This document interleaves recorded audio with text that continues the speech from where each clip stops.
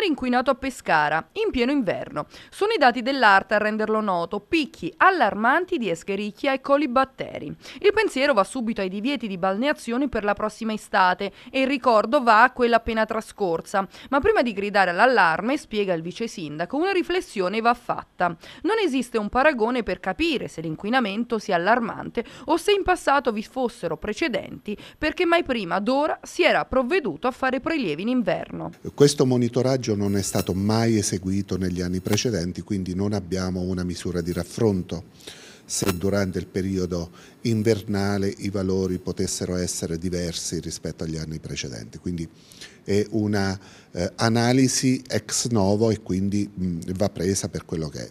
Detto questo, la preoccupazione comunque rimane alta perché comunque sia il fiume Pescara trasporta inquinanti in misura molto elevata. Un'altra riflessione da fare è quella sugli scarichi abusivi, perché la vera difficoltà risiede nel risalire a concessioni effettuate in anni lontani e soprattutto dai protagonisti responsabili. Nelle ultime settimane infatti la Guardia Costiera ha scoperto più di 50 scarichi abusivi non censiti, una bella matassa da risolvere e l'appello dell'amministrazione oggi è alla collaborazione da parte di tutti gli enti. Abbiamo interessato il Presidente della Regione Abruzzo perché coordinasse un'azione, un tavolo tecnico di tutti gli enti locali perché si assumano, eh, si assumano decisioni al riguardo.